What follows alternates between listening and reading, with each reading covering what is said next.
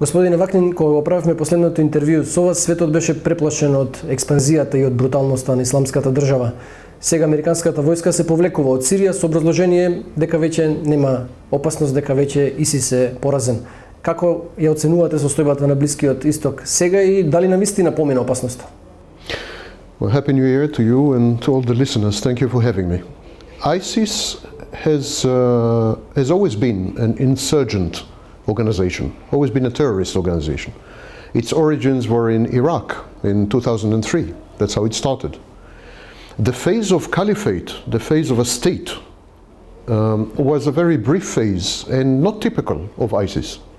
So ISIS went back to its roots, went back to its, its roots as an insurgent terrorist organization. Nothing changed. It is still very much present in some parts of Syria, some parts of Iraq, and so it went back to, I would say, 2007, 2008. And it continues to be, to brutally uh, massacre people, to attack government institutions, to attack traffic lanes and transportation convoys. It constitutes a threat to many population centers and many uh, police and army units, um, government bureaucracy, and so on and so forth. The United States did not claim that ISIS has been defeated. It claimed that the Islamic State has been defeated. And that is quite true. ISIS has lost well over 95% of its territory and therefore is no longer territorially confined. But even the United States admits that ISIS still exists very much as a force on the ground. And that, that is why the United States reached an understanding with Turkey that Turkey will invade Syria now and take care of what is left of ISIS. On the way, the United States, as it usually does, sacrificed its ally, the Kurds. And so the Turks are going to sweep away not only the, the ISIS militants, but they're going to sweep away the Kurdish resistance um, on the border with Turkey. Syria is in for a second round of instability, civil war, and refugees.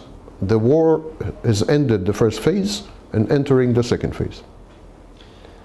Председателот Трамп веќе е на половина од неговиот мандат, како што се очекуваше, го поминува на контраверзен начин, но се чини дека него не му е многу гајле за критиките што ги трпи. Дали светот може да биде мирен со ваков американски председател? We grew up in a world with a single superpower, which was essentially the United States, or bipolar world with the USSR. But this is a new development. throughout human history for well over 5,000 years, there have always been several competing regional powers, always. And we are simply going back to what used to be before Second World War. And even Donald Trump cannot stop this. Actually, what Donald Trump has been doing, he has been going along with history rather than against history. I think, of course, he is not a great intellectual, and I, I'm not quite sure that he realizes what he's doing. But I think he is taking the United States along an inevitable path that any president would have had to take it. China is rising as an economic power, Russia is rising as a regional power and a military power, and the United States is declining in many ways and in many respects. And any president of the United States has to adapt himself to these realities, and that's what, what he's doing. He's doing it defensively is withdrawing the United States from the world. He's saying we are big enough to survive on our own. We are self-sustaining. We don't need anyone. America first. The hell with everyone. I'm going to ignore everyone. I'm not going to collaborate with anyone.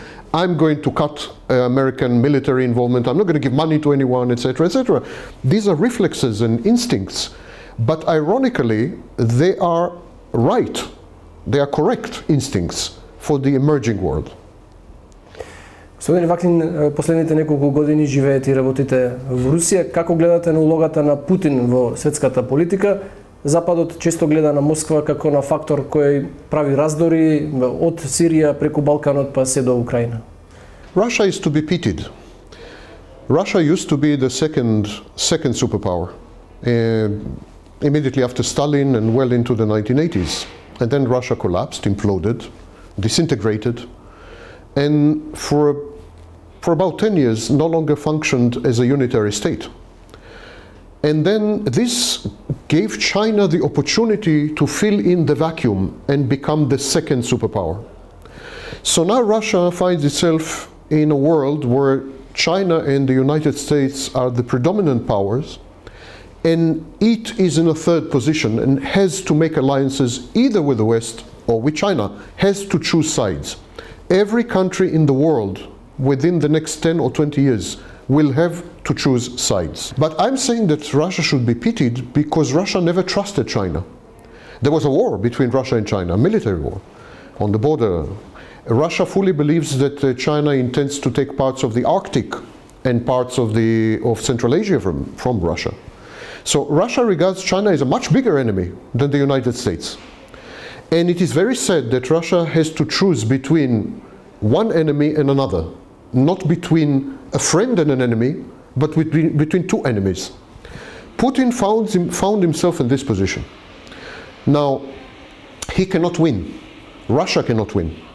Anything they do, either they strengthen a quintessential enemy, which is China, which has been an enemy for hundreds of years, or they strengthen the West. And they have to choose between these two positions. And in the meantime, they are paying a horrible price because they are utterly dependent on oil and energy products. The price of oil again collapsed 6% last, yesterday only and is now again at around 40 to 50 dollars a barrel, depending on the type of oil. Uh, that means that Russia is deep in deficits, its economy is disintegrating, and I have no doubt that next year there will be massive social unrest in Russia. Putin is not threatened, but Putin is not threatened because there's no alternative to Putin. And because the elites around Putin are kleptocratic, they benefit a lot from stealing, and he allows them. He turns a blind eye to what's happening in Russia. But that can't last for long. Then there are two options. Either an alternative to Putin emerges, but I can't see such an alternative, nor does he encourage such an alternative. Or Putin continues to be to serve another term and another term and another term indefinitely, Russia begins a process of regional disintegration.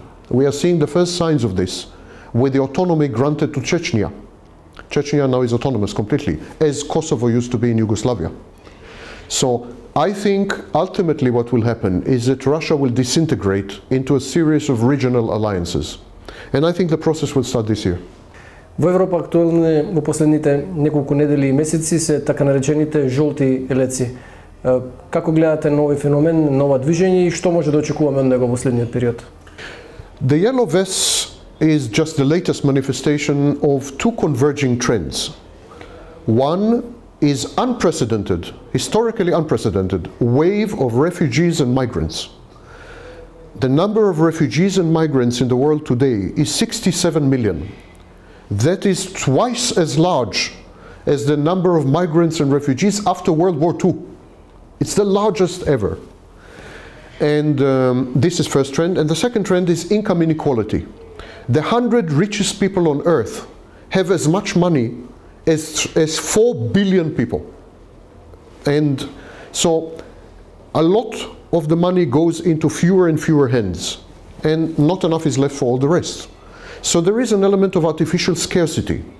If you are a multi-billionaire and you have 10 billion, these 10 billion you took from poor, poor people, and they don't have the money. So there's a lot of social unrest and social tensions built on this.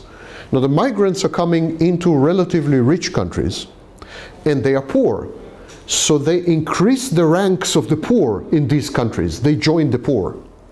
They also can't find work. They don't have the proper education, proper credentials. They rely on the welfare system, so they put a lot of stress on the state. And so it is a war between poor and rich with the migrants on the side of the poor. And this is the two trends, what we are seeing today. It started not now, it started, I would say, about 15 years ago. But we are seeing we are seeing the last few waves. Erdogan in Turkey is a manifestation of this. Duterte in Philippines, Bolsonaro in Brazil, Putin himself in Russia, uh, Donald Trump in the United States, uh, Yellow Vests in, in uh, France, Brexit in the United Kingdom.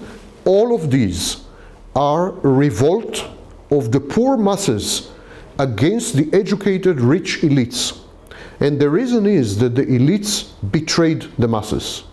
The elites used their position, abused their position to steal from the masses, to steal from the people, to self-enrich, to and the masses are no longer willing to take it because they have reached a point where they cannot satisfy their most basic needs. We are entering another revolutionary period, like the period between 1789, French Revolution, and 1917.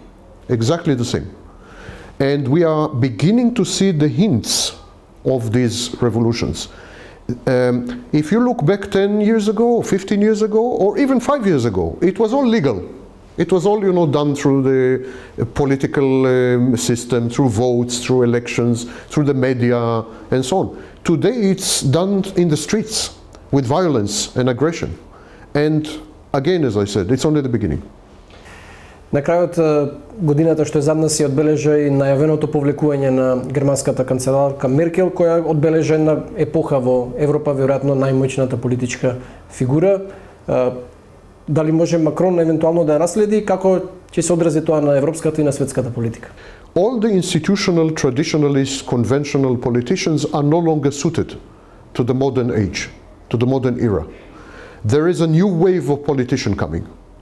This wave of politician, again, is exemplified by Trump, Duterte, Bolsonaro, Erdogan, this type of people. They are highly narcissistic. They are aggressive. They are ignorant. They are ill-educated. They are violent. They, are, they use knowingly the poor and the uneducated against the rich and the educated. It is a war of the masses against the elites. In such an environment, there's no place for civilized figures like uh, Merkel or Theresa May or Macron.